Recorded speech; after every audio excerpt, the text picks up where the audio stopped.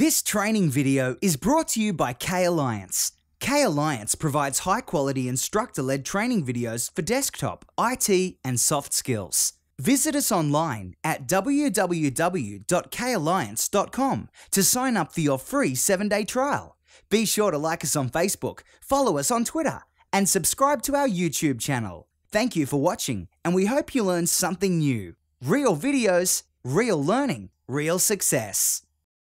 Excel 2013 has a new feature called a quick analysis tool. It's a great little smart icon that pops up that helps you quickly analyze. Here we have a little spreadsheet, three salespeople, January through December sales, and then their total sales and the total amount of commission that they were paid based on those sales. What we want to do is just see how to quickly analyze how Patty's doing. So we highlight Patty. Now notice I'm grabbing Patty's name and all of Patty's numbers, but you only select what you actually want to analyze. And then this little icon down here is the quick access it's a nice new little tool, excuse me, not quick access, quick analysis tool. And Control Q is the shortcut if you're a keyboard shortcut person. I want you to notice what happens as I move my mouse away from the highlighted area. The little smart icon disappears. As soon as I get closer to the data, then it pops up again. So you can quickly analyze. You simply click on the icon and you get this wonderful little box that pops up and it has formatting choices, charts, totals, tables, and sparklines. So you see all you have to do is select the topic of choice. Now some of these things show up on the screen inside of the data and some of them show up as separate data. So for instance, formatting. Now this is quick analysis, so you don't get a lot of choices here. You can put on data bars. You can put on color scales. You can put on icon sets, right? So let's go ahead and put on the icon set. And this is just the icon set that's listed. You can do icon sets a different way. This is just the quick analysis method. I also can add color scales. Now that's getting to be a little excessive, I know, and so you can just hit the undo button and take off because my excessiveness.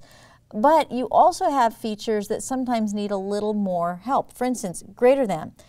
What is this greater than what? So you simply click on it, it pops up a dialog box and it says, well, greater than what? I want anything greater than 4,500 and I say okay, well actually before I say okay, maybe you want to change the format. You can go through and change the format as well if you want to. By, for speed, I'm going to go ahead and leave the default and then you say okay and now you have that custom format that's available for you.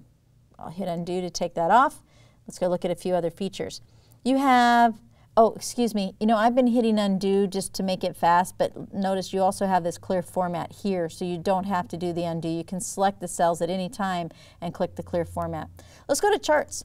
Maybe we're interested in charting what Patty's been doing. So I have clustered, uh, excuse me, clustered column, clustered bar, line, scatter, or more. And you can choose more, and there are more options that are in here for the different kind of charts that are available. Or oops, excuse me, I accidentally clicked outside of the selection there. Or you can go to totals, and this would allow you to get some calculations in. I already have my totals in, so I don't need to do this, but it's a really fast way to simply put totals with numbers. Maybe you want a table.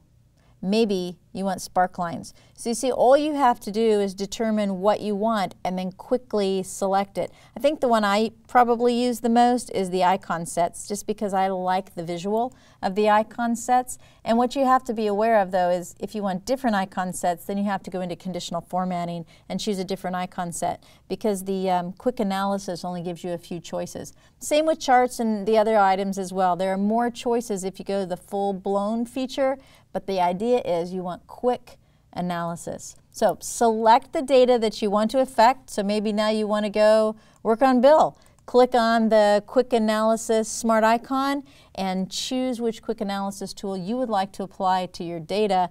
And when you don't want that data there any longer, let me click on Patty, you can clear the formats so your data is no longer applying those quick analysis tools.